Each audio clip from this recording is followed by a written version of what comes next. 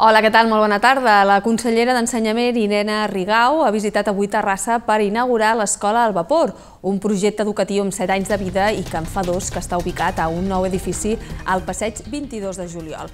A la porta, els pares i mares de l'Escola Camp Montlló han reclamat la seva dimissió pel tancament del seu centre. Us ho expliquem de seguida abans del sumari. La BD6 ha acollit la presentació del Fil Roig, el llibre que repassa els 125 anys del sindicat UGT. També s'hi ha projectat Les Maestres de la República, produït per la mateixa UGT i guanyador d'un Goya al millor documental. Aquest diumenge a l'Olímpic el Terrassa s'enfronta a la Rapitenca, equip que lluita per no baixar. Serà el primer dels quatre partits a casa on els de Miqui Carrillo volen sumar els 12 punts per poder disputar el play-off d'ascens. El Museu Nacional de la Ciència i de la Tècnica ha inaugurat aquest dijous una exposició sobre l'emblemàtica i centenària empresa Pont Taurell i Armengol. L'acte ha coincidit amb l'obertura del pati del museu a la Rambla.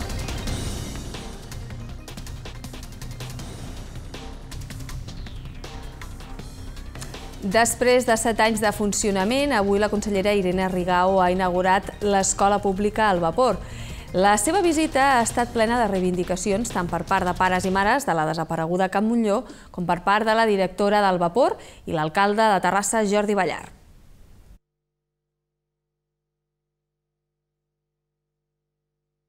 l'escola al vapor, un projecte educatiu amb 7 anys de vida i que en fa dos que està ubicat en aquest nou edifici del passeig 22 de juliol, cantonada amb Giralt i Serra. A banda de les autoritats locals i representants del món educatiu de la ciutat, l'esperaven a la porta pares i mares de l'Escola Can Montlló, amb pancartes que mostraven la seva disconformitat amb el tancament del centre i reclamant la seva dimissió. Un cop a l'interior, Irene Rigau ha descobert la placa commemorativa i ha visitat les instal·lacions, passant per les diverses aules del centre, on ha intercanviat impressions amb els professors i ha conegut de prop la tasca amb els alumnes. En el torn de parlaments, la directora del centre, Dolors Moya, ha felicitat tots els implicats en la creació de l'escola i ha reclamat que l'educació sigui una prioritat i rebi el reconeixement que es mereix. Per la seva banda, l'alcalde Jordi Ballart ha demanat a la consellera que fixi el calendari i els recursos necessaris per l'Escola Sala i Badrines i els nous instituts de les Aimarigas i Can Roca. En el seu torn, Irene Rigau ha defensat que el vapor és el tipus d'escola que el govern de Catalunya vol implantar arreu i que per fer-ho possible cal un nou estatus polític i disposar dels recursos propis. Per acabar la visita, els alumnes de segon han fet una cantada al gimnàs de l'escola.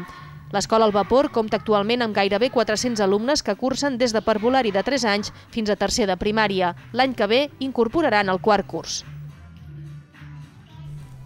El sindicat UGT repassa els seus 125 anys d'història a la Biblioteca del Districte 6. L'acte ha estat presidit pel secretari general de l'UGT a Catalunya, Josep Maria Álvarez, i l'alcalde Jordi Ballar. La Biblioteca del Districte 6 a Sant Pere Nord ha acollit un acte del sindicat UGT. S'hi ha presentat d'una banda el Fil Roig, el llibre que repassa els 125 anys del sindicat, i de l'altra s'ha projectat el documental Les Maestres de la República, dirigit per Pilar López Lozano, produït per la mateixa UGT i guanyador d'un Goya al millor documental. La trobada ha servit per convidar el secretari general d'UGT a Catalunya, Josep Maria Álvarez, que ha destacat com s'ha modernitzat aquest sindicat al llarg de la seva història i n'ha valorat la seva funció social avui en dia. Avui el sindicalisme és eh, segurament eh, l'eina fonamental eh, d'aquesta societat doncs, per aturar aquesta onada que ens vol detreure drets, drets laborals, drets socials, llibertats. Eh, segurament doncs, que som l'eina eh, més eh, eh, valuosa per poder mobilitzar la societat i per tant no ens ha d'estranyar que les forces del mal, com sovint dic jo, es conjurin per veure com poden acabar amb aquesta eh, força que tenim les organitzacions sindicals. L'alcalde de Terrassa, Jordi Ballart, també ha estat present a l'acte. Ballart ha recordat que l'Ajuntament de Terrassa ha aconseguit seure en una mateixa taula sindicats i patronal i ha demanat al president Rajoy que faci el mateix. Però el primer que hauria de fer, penso, i també és bo que li diguem, que li recordem, si és una persona coherent, si és una persona decent, és que el primer que ha de fer, si vol negociar, si vol tirar endavant el país, és retirar aquesta reforma laboral que va fer, que havia de ser un miracle, que havia de solucionar tots els problemes del nostre país i que l'únic que ha fet, i ho estem veient dia a dia, ho hem vist en els últims mesos, és generar més atur. Tots dos han coincidit que la crisi també representa una oportunitat per millorar la transparència democràtica. Terrassa ha organitzat aquest dijous una tertúlia informal per explicar els avenços en economia que ha fet el Partit Popular. L'ha organitzat les noves generacions del partit.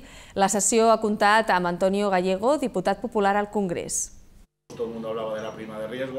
Sota l'epígraf En la buena dirección, el Partit Popular ha explicat en una tertúlia informal en una cafeteria de la Rasa els avenços econòmics que ha aconseguit el partit des que governa. Davant més d'una vintena de persones, el portaveu de la Comissió de Pressupostos ha denunciat l'estat de les finances que es va trobar el govern quan va guanyar les eleccions i la prima de risc, la màxima preocupació econòmica d'ara fa dos anys. Ara els populars fan un balanç positiu d'aquests primers indicis de sortida de la crisi i auguren una millora de la situació a partir de les reformes previstes per a l'any que ve. El que ens preocupa és la recuperació econòmica. Al Partit Popular li interessa la creació de llocs de treball, a la societat espanyola li interessa la, la, la creació de llocs de treball i crec que estem en la, en la bona direcció.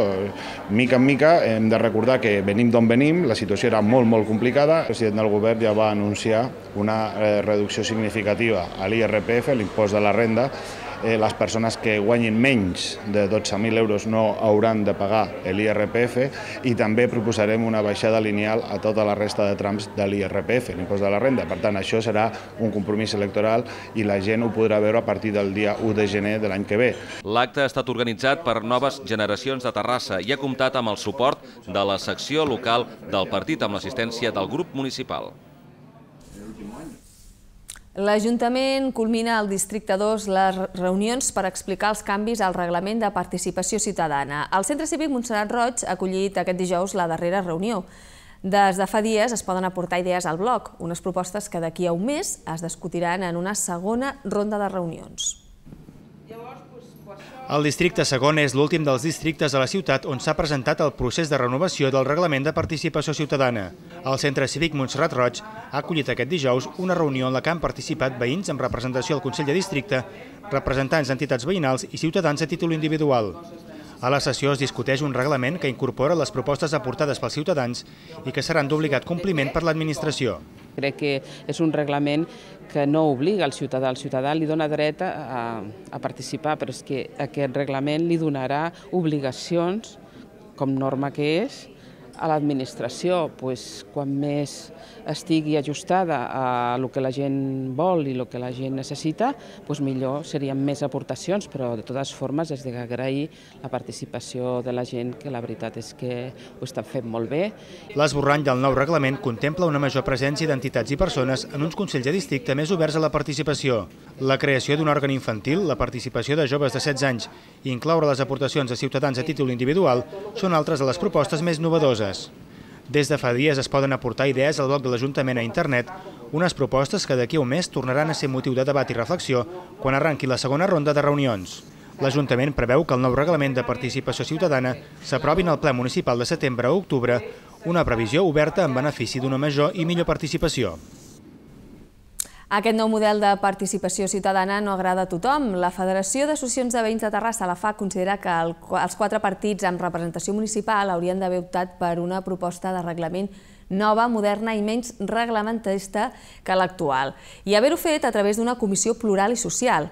La FAP creu que el nou reglament s'ha de corregir i fer-lo més dinàmic per afavorir la implicació ciutadana. Amb aquest objectiu, la Federació ha organitzat tres sessions on es recolliran totes les propostes de canvi i es faran arribar a l'Ajuntament. La primera sessió es farà al Centre Cívic Maria Aurelia Catmany el dimarts 8 d'abril sota el títol de Mecanismes d'informació i comunicació. Intervendrà el sociòleg Jaume Gatell. La norma, molt pesada, norma. És un document que es va fer a partir d'un pla estratègic que va dir dient com volien que fos la seva forma de pensar que és la participació. Fiare, una cooperativa de banca ètica, obre un punt d'atenció a Terrassa. Aquesta banca ètica està impulsada per persones i col·lectius d'arreu de l'Estat que volen que els seus estalvis s'inverteixin en finalitats socials i de cooperació humanitària, a més de garantir transparència i participació. Aquest dijous s'ha presentat a Terrassa al Centre Cívic de Canaurell la cooperativa de banca cívica Fiare. Ho han fet els mateixos socis que Fiare té a Terrassa i que defineixen l'entitat com un model cooperatiu de banca ètica d'abast europeu. Està impulsada per persones i col·lectius d'arreu de l'Estat que volen que els seus estalvis s'inverteixin en finalitats socials i de cooperació humanitària, a més de garantir la transparència i la participació. Els usuaris de la nostra banca ètica saben que els seus diners no, no s'utilitzaran per a l'especulació, no s'utilitzaran eh, per, la, per comprar armament, per exemple, eh, i s'utilitzaran per associacions cooperatives o eh, empreses inclòs, eh, però que tinguin sempre una filosofia ètica. El nou punt d'atenció de Fiare Terrassa està al centre cívic de Canaurell els dilluns de 6 a 8 de la tarda. Recentment, Fiare s'ha integrat amb la Banca Popolare Ètica Italiana que li permetrà obrir la primera oficina al setembre que ve a Bilbao. Els organitzadors de la Fira Màgica que es farà aquest cap de setmana al recinte firal han respost al manifest signat per científics i professors de la UPC criticant la Fira Màgica i apel·lant per una terrassa científica. L'organització de la Fira vol aclarir que el certamen és una plataforma que respon a la demanda d'un sector econòmic de la societat que treballa en el camp de les teràpies alternatives i també en les arts escèniques, música i cinema. Consideren que com a sector és lícit usar el terme ciències alternatives, ja que els coneixements alternatius enriqueixen la ciència en el seu concepte més ampli i que pretendre monopolitzar el terme ciència d'una manera tancada és un acte reaccionari que recorda la manera de pensar d'aquells que fa 500 anys cremaven bruixes i perseguien científics. Per als organitzadors de la Fira Màgica, les teràpies que defensen són complementàries al mètode científic i posen com exemples el ioga, que a Alemanya és assignatura a moltes escoles, i el reiki, que s'està utilitzant a l'Hospital de Terrassa amb resultats molt positius.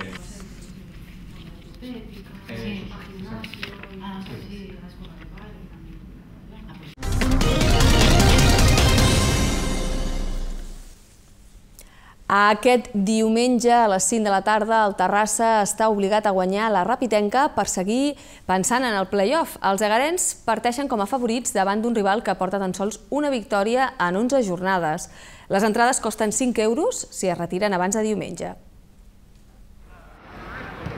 Quatre partits a l'Olímpic, Quatre partits on hi ha l'obligació de sumar els 12 punts si el Terrassa Futbol Club vol disputar el play-off d'ascens. I en el primer d'ells, aquest diumenge contra el Rapitenca, equip que lluita per no baixar, no es pot fallar. El conjunt d'en Miqui Carrillo, a només 3 punts de la quarta posició, s'ha conjurat per sumar una nova victòria que faci bo l'empat a Palamós. El seu rival porta en les últimes 11 jornades un triomf, un empat i 9 derrotes. Els agarencs parteixen com a favorits, però el tècnic del Terrassa adverteix del perill de la Rapitenca. És un equip que es juga una categoria, no? i a vegades jugar-se una categoria és, dona un plus no? d'intensitat. Sí que és que últimament han perdut partits i que han tingut molt, molt, molt lesionats i sancionats, però que, bueno, que el futbol avui dia no és fàcil i que hem de competir a tope per, per guanyar cada partit. No podem, no podem fallar. A casa de sumar de 3 en 3. El Terrassa torna a rebaixar el preu de les entrades. Totes aquelles que es retirin abans del diumenge costaran 5 euros. Carrillo fa una crida a l'afició perquè sigui el jugador número 12. És important no, que, que hi hagi gent, no? si amb aquesta fórmula podem aconseguir una bona entrada i que hi hagi ambient i que la gent animi, doncs penso que és un moment molt important de la temporada i quan més hi hagi gent hi hagi a l'Olímpic, doncs molt millor per l'equip i per tothom. No? Dir que és, un, és un moment importantíssim de l'any que podem arribar i estem molt a prop i a veure si amb, amb, amb l'apoyo de, de tots, de, del públic, dels jugadors, de, del cos tècnic, a veure si tots, tots plegats podem fer un, una, una altra victòria que ens aproparia molt al, a l'objectiu. Batanero, Pedro García i Josep són dubte per aquest enfrontament. Per la seva banda, els de Sant Carles de la Ràpita viatjaran sense Pardo i Montaner sancionats. El partit començarà a les 5 de la tarda i serà dirigit per Cristian López Carballo. Arriba el moment més emocionant a la divisió d'honor masculina d'hoquei herba. Aquest diumenge arrenca la segona fase i els dos equips de la ciutat, Club Agaré i Atlètic, busquen classificar-se per a la final four. El conjunt de Patricio Quinan rep a casa el júnior a partir de dos quarts d'una del migdia. Els del Pla del Bonaire, que ja van derrotar els sacagotens en la primera fase, arrenquen amb 7 punts, els mateixos que té el Polo, que ocupa la primera posició. El júnior, en només un punt, està obligat a guanyar si encara vol aspirar a entrar entre els quatre primers. Més equilibri es preveu en el partit entre el Club de Campo i l'Atlètic, quart contra tercer, que començarà a la mateixa hora a Madrid. Tots dos equips estan separats per només un punt, amb l'amenaça del cinquè, el Complutense, que també vol entrar en la lluita pel títol.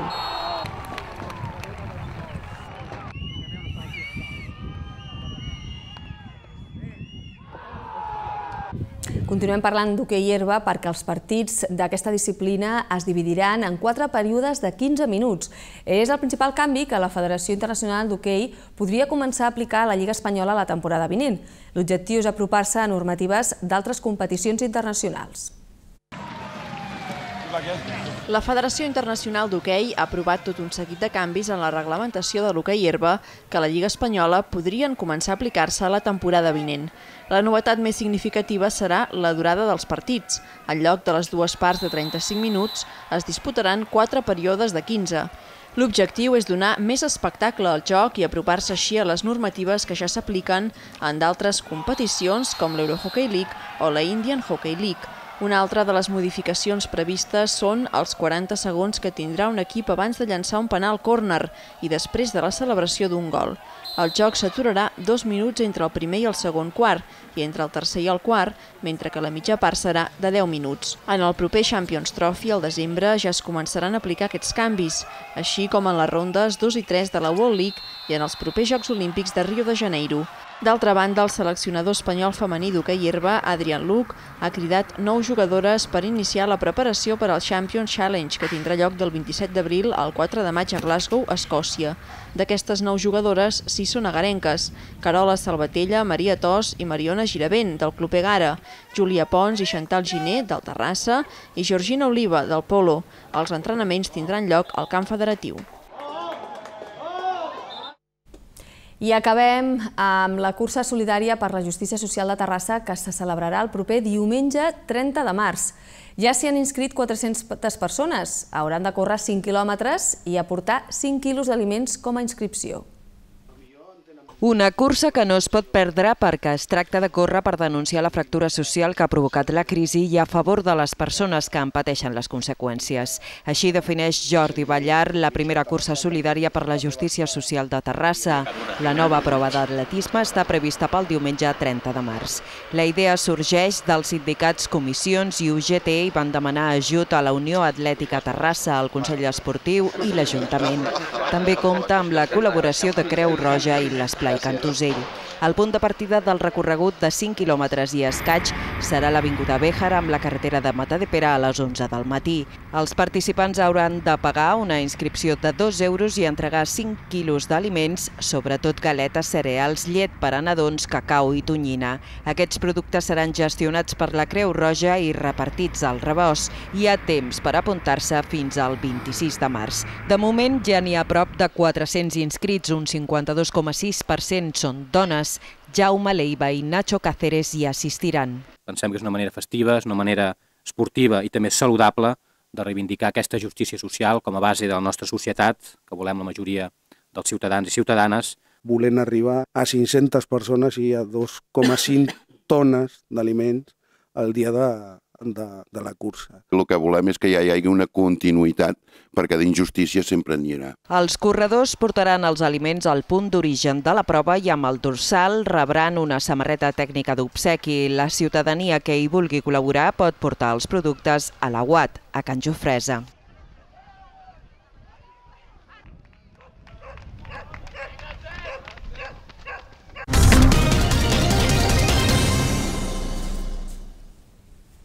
Avui ha mort Miquel Mariano, impulsor de les entitats de la gent gran als 92 anys d'edat. A finals dels 90 va ser comissionat per a la gent gran de l'Ajuntament i va presidir diverses entitats relacionades.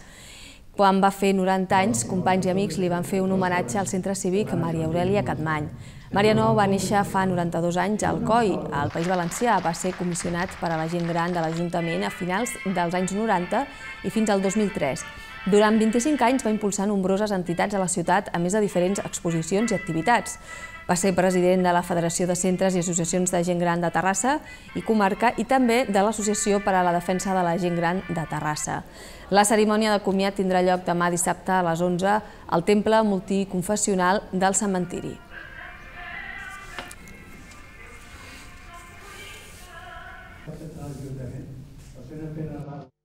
Empresa Pont, Aurell i Armengol protagonitza una mostra al Museu de la Ciència i la Tècnica de Catalunya.